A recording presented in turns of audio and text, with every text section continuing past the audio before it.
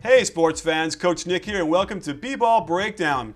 If you haven't heard, the Cleveland Cavaliers have hired Coach David Blatt from Europe, most recently of the Maccabi team that won the Triple Crown. So I was very excited to go through his footage to see what he runs on offense, particularly because he's influenced by the Princeton offense, having played for Coach Pete Carril in the late 70s. So we went through a lot of things. Some of it's pretty clever, and I think it'll work really well with the roster the Cleveland Cavaliers have. Other things might be a little bit challenging because they don't really have the shooters they need yet. Let's first look at a set called Two Down, and I want you to imagine the Cavaliers in the following initial positions.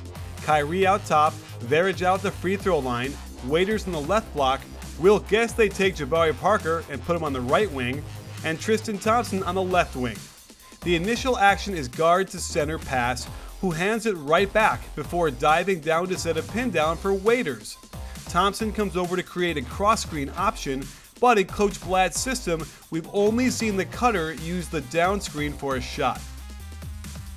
Here, you'll see the same option in real time, however, the Cavaliers don't really have the kind of three point shooter that can consistently knock down this catch and shoot. However, I can picture Dion Waiters coming off the pin down using a shot fake and penetrating into the lane like this. You could also swap Kyrie and Waiters, and you can see that as they run it to the other side, the pin down can flow right into a screen and roll, allowing the guard to get to the hoop. The pin down focuses the defense on the cutter, allowing the screener at the block a duck in, something Varejao could most likely handle. Next up, we have a set called Fist Down, which is a nifty little weave across the top. It starts with the 5 screening for the 4, who then receives the pass on top. The point guard clears to the corner, while the 4 initiates a weave across the top. After the second pitch, the 4 comes up to set an inside screen, opening up all sorts of shots at the hoop. You can imagine either Waiters or Kyrie playing the right corner position getting that pitch at full speed, Varejao screening and letting them attack the middle. And without question, this same action can spread the defense out and let Kyrie do one of his patented step back jumpers as well. Coach Blatt played at Princeton, so it's no surprise to see backdoor cuts after lulling the defense to sleep. And they've worked in those back doors at every stage of fist down, keeping the defense on their toes. They're also no strangers to adding a little entertainment, as they can get a really nice alley oop off the inside screen. And finally, a staple of their entire offense is the weak side fill by a three point shooter sliding in position behind the roll man for open shots. They also have their share of floppy sets, this one lined up as double exit that we see the Warriors and Bulls run a lot, where the shooting guard has his back to the ball so he can see which way the small forward cuts.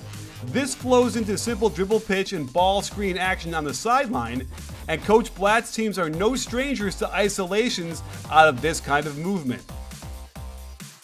And this same alignment can even break into horns, as the two down screeners simply shape up to the high post and the wings flow to the corner where they execute the same things we see NBA teams do. Which brings us to their regular horn set. Here, the big men interchange with a screen, and you can easily see Kyrie using one screen, then crossing over back to the middle.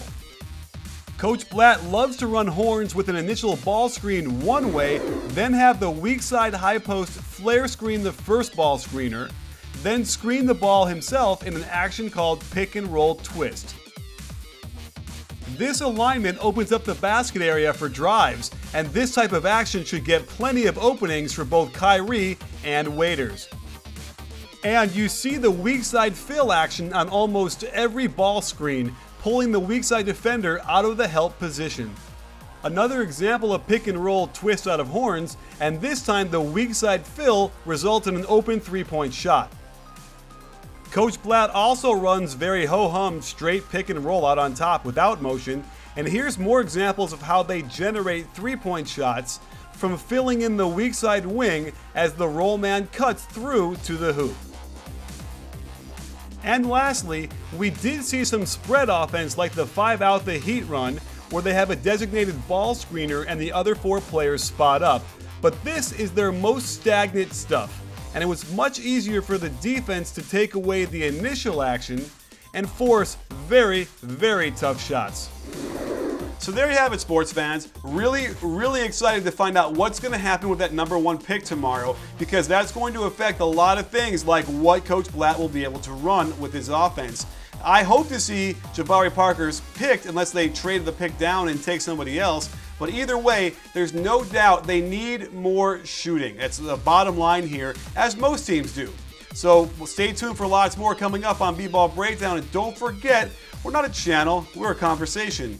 You win,